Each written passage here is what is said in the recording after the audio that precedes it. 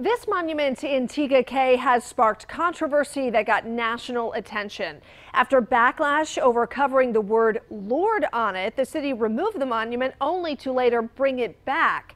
Eyewitness News reporter Joe Bruno just uncovered a chain of emails surrounding this controversy.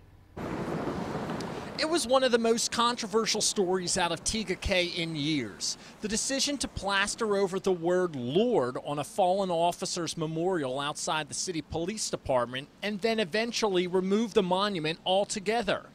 In July, the Cay Women's Club gifted police the monument. On the 12th, a resident emailed the mayor and Cay leaders saying in part, I believe it gives an impression that one segment of our population is recognized above others in our community. Mayor David O'Neill responded back saying monuments of this kind have a long standing tradition in respecting and tolerating different views.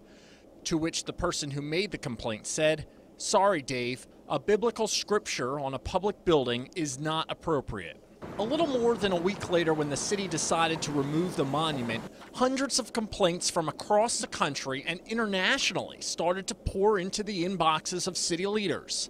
A man from West Fargo, North Dakota said, I read with despair the story of your little town that has rejected God by literally scrubbing his name off a monument. And a man from Winnipeg, Canada wrote, I really hope you treat the officers in your city with some respect, but after this move, I doubt it. The city eventually reversed course and ordered the monument back in its original state. After that decision, a few emails, like this one from a woman in Tallahassee saying, I just want to say thank you for reversing your decision. God bless you. Joe Bruno, Channel 9 Eyewitness News.